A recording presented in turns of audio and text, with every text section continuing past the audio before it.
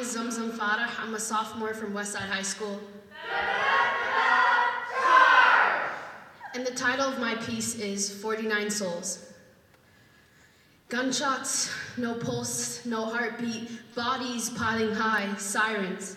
They paint my people to be the bad guys in these stories. They paint us until the red becomes into blood. They paint, but they paint us until the bristles of the brush dry out. But it's times like this where you see people's true colors come out. Different shades of hate, eh, different shades of hate and anger and intolerances fill their palettes, and they paint their hearts blacker as they ignore other people's pain and suffering. They ignore the fact that Friday, March 15th, families lost 49 innocent lives. But yet again, they're still painting us to be the guy, bad guys. They paint us until their black hearts turn into coal. They paint past the breaking stories.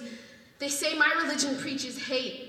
When simply our universal greeting, salam, which means may peace be upon you. In fact, the last word of the first victim the shooting was salam, innocent lives gone, killed while they're on their knees during Friday pray- prayer. Family stomach dropped down to the floor where they hear the heartbreaking news, and, instill, and instead of filling their palettes with hate and anger, they simply choose not to turn their hearts into coal. Saddest part are people are fulfilling the gunman's wishes.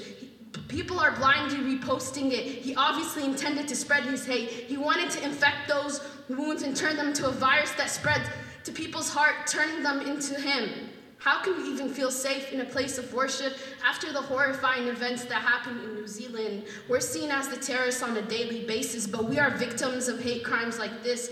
Horrifying images blast into my brain at the darkest times of the night. Silence in my bedroom to the point that I can hear their screams, and all I can imagine is dead bodies that could have been me. Because of my religion, I'm labeled as a terrorist. It's hard to keep things straight inside your head when all you can think of is when someone might shoot you in the parking lot of your own home. When you're too busy worrying about if your mother will have to mourn your death this weekend. I try not to think about it. Tell myself that Islamophobia is made up, trying to remember that this country is supposed to be a melting pot of ethnicities, a stew of red, white, and blue. Try not to think of the red blood of my Muslim brothers and sisters. Try not to think of the blue of their cheers. Try not to, to think of all the innocent Muslim boys and girls who've been shot point blank in the head, trying to erase the memory of dead bodies.